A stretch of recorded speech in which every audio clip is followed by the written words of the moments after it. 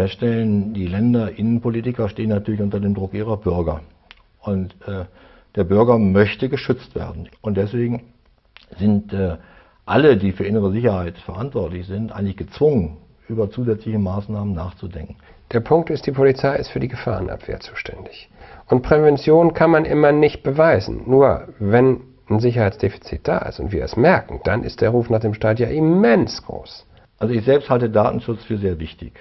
Auf der anderen Seite muss man auch sehen, Datenschutz hat auch einen Preis. Also wenn ich äh, Datenschutz äh, extensiv betreibe, komme ich auch in die Gefahr, Täterschutz zu betreiben. Wenn Sie an einem Flughafen abreisen, werden Sie sich, glaube ich, sehr unwohl fühlen, wenn das, was da an Sicherheitsmaßnahmen erfolgt, mit Überwachung nicht erfolgen würde. In Ihrer Bank akzeptieren Sie das doch vollständig.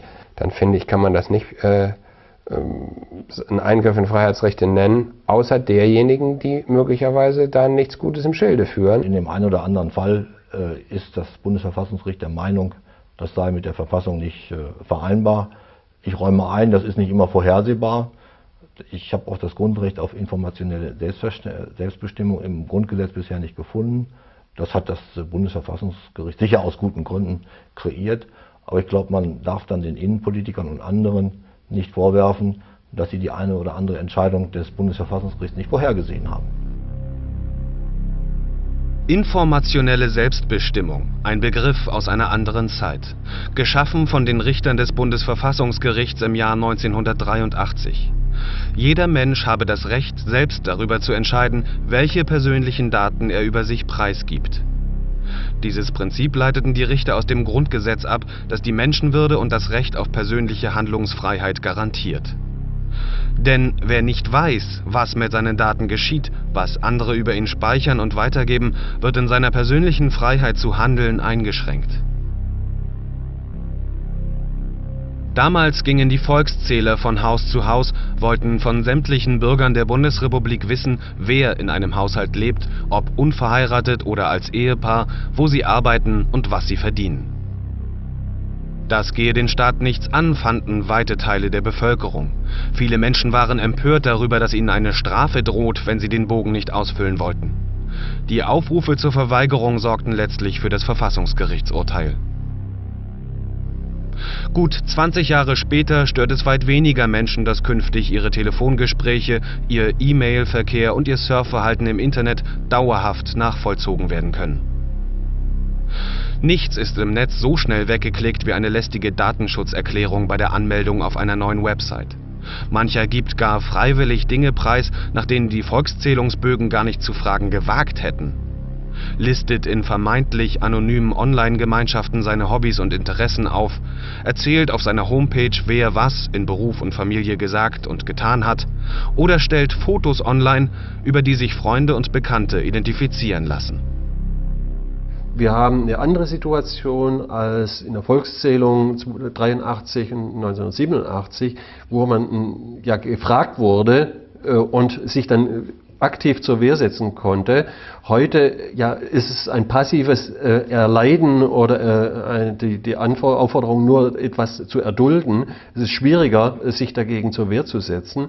Wie geht der normale Bürger damit um? Ich glaube, er geht nicht damit um. Es ist, wird unmerklich zum Alltag und man kann ja dagegen nichts tun. Also auf einmal ist in der Straße, die man immer benutzt hat, eine Videokamera. Da wird man natürlich weiter diese Straße nutzen oder eben nicht nutzen, je nach persönlicher Einstellung. Äh, und natürlich immer, immer wieder dieser Satz im Umlauf, na, wer nichts zu verbergen hat, den stört auch keine Kamera. Und alle sind sich ja bewusst, dass sie selber eigentlich nichts zu verbergen haben. Letztlich könnte genau das passieren, was 1983 verhindert werden sollte. Eine Einschränkung fundamentaler Freiheiten, eine Gefährdung der Demokratie, eine Fahrt ins Ungewisse ich kann mir denken, dass diese Überwachungsneigung letztlich dazu führt, dass man bestimmte als kritisch angesehene ähm, Verhaltensweisen doch dann sein lässt. Wenn man tatsächlich nachvollziehen kann anhand der Ortungsdaten, an welchem Ort ich mich metergenau aufgehalten habe, äh, äh, äh, ob ich an einer Versammlung teilgenommen habe, dann überlege ich mir, vielleicht, ob ich an dieser kritischen Versammlung teilnehme, wenn ich zum Beispiel Beamter bin äh, oder wenn ich sonst befürchte, äh, dass diese Daten dann äh, bei welcher Gelegenheit auch immer äh, dann äh, den Behörden zur Kenntnis gelangen, was bisher jedenfalls nicht der Fall war. Äh, und das wäre sicher mit dem Menschenbild des Grundgesetzes so nicht in Übereinstimmung zu bringen, weil insofern natürlich ein Konformitätsdruck erzeugt wird, und zwar ein Stück unabhängig von der Frage, ob denn tatsächlich die Behörden auf die Daten dann zugreifen oder nicht.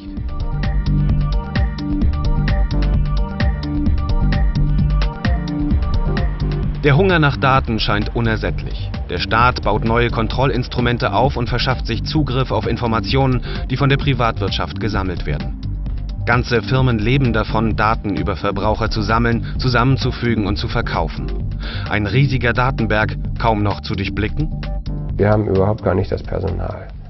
Wer wollte denn wirklich Datenfriedhöfe? Wer hat da überhaupt ein Interesse daran? Wirklich Datenfriedhöfe äh, auszuwerten. Mit welchem Personal sollen wir das denn machen? Um Bewegungsprofile von 80 Millionen Deutschen oder, oder 50 Millionen Autofahrern zu erheben? Das ist doch eine groteske Vorstellung. Also die Hoffnung, dass die Masse der Daten äh, die Gefahr äh, oder das Risiko eines Missbrauchs minimiert, ist leider nicht richtig. Wir haben heute mit elektronischen Datenverarbeitung Auswertungsmöglichkeiten, die aus einem riesigen Datenwust es ermöglichen, ganz präzise je nachdem, welche Fragestellungen in die, das System eingegeben werden, die Daten rauszubekommen, die man auch tatsächlich braucht. Das ist äh, denkbar, das ist aber heute schon in jedem Ermittlungsverfahren so. Ähm, denken Sie an Kreditkartenbetrug, denken Sie an Zahlungsströme. Äh, in jedem Ermittlungsverfahren wird versucht, äh, über diese Daten äh, dem Täter auf die Spur zu kommen, ihn zu überführen. Das heißt eigentlich nur mit den modernen Techniken auch umzugehen im Rahmen von Ermittlungsverfahren. Da sehe ich jetzt eigentlich keine neue Qualität unter dem Aspekt Datenschutz. Doch die Technik wird in Zukunft ständig besser. Immer mehr ist vorstellbar. Computergesteuerte Videoüberwachung, die auf verdächtige Bewegungsabläufe reagiert. Wenn Menschen plötzlich stehen bleiben, wenn sich Gruppen bilden, könnte das System automatisch Alarm schlagen.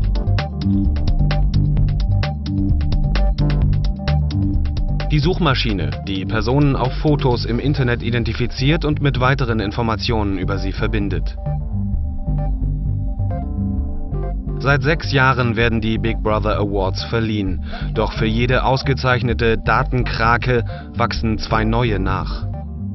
Das Schreckensszenario ist, dass äh, jegliche, jegliches Alltagsgeschäft, jegliche Regung, die wir tun, digital erfasst und gespeichert wird und äh, dass diese Datenbanken, die bei verschiedenen Unternehmen oder bei staatlichen Stellen entstehen, äh, miteinander verknüpft werden.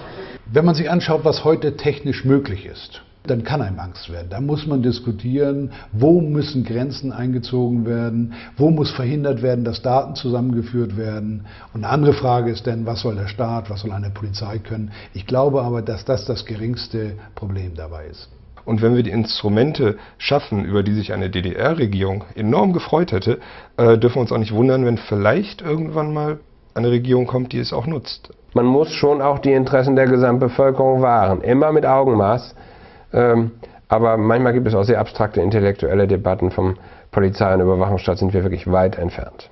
Hilfe, ich trage einen Chip mit mir und kann jederzeit verfolgt werden, das ist etwas, was Menschen nicht möchten. Kurzum, die Sicherheitsbehörden in diesem Lande sind aufmerksam. Wir werden alle unsere Möglichkeiten nutzen, um Anschläge zu verhindern. Und ich hoffe, dass dies auch gelingen wird.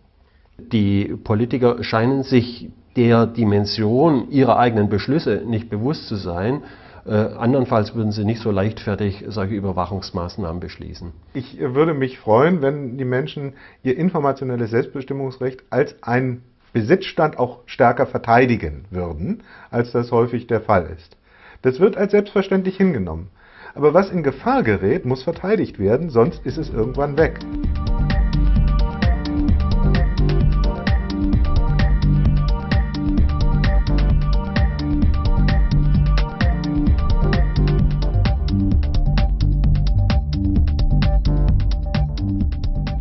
Niemand weiß, welche Bedeutung Daten, die heute über uns gesammelt werden, in Zukunft haben. Die Fülle an Informationen, die über jeden Einzelnen im Umlauf sind, lässt sich schon jetzt nicht mehr überblicken. Das Recht auf informationelle Selbstbestimmung, ob es im digitalen Zeitalter noch eine Bedeutung hat?